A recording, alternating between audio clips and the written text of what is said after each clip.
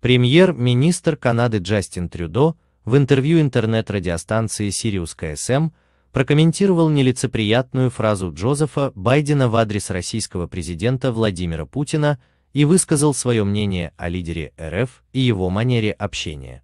Премьер отметил, что в течение пяти лет на своем государственном посту он несколько раз беседовал с Владимиром Путиным.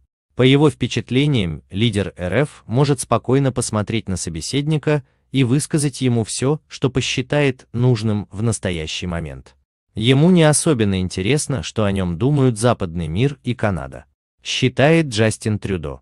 Ранее американский президент Джозеф Байден, отвечая на вопрос журналиста телеканала ABC, назвал Владимира Путина убийцей.